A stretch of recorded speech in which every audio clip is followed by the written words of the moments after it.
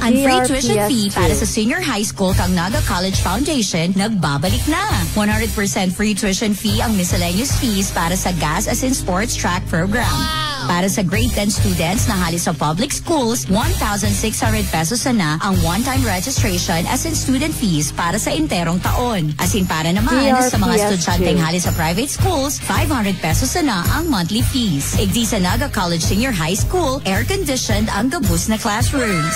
Barato na ang magpa-adult sa private schools, ninhulita sa Naga College Foundation. Ano pa ang hinahalat nindo? Limited slots na naini, kaya asikaso na. Enrollment starts May 13, 2024. DRPS2. Magbisita sa Naga College Main Campus, igdi sa MT Villanueva Avenue, Naga City. Magdara ka mga sumusunod. SF9 o card, PSA, as in apat na kopya ng 2x2 picture with white background. Classes starts July 15, 2024. Be a Tiger, be a champion.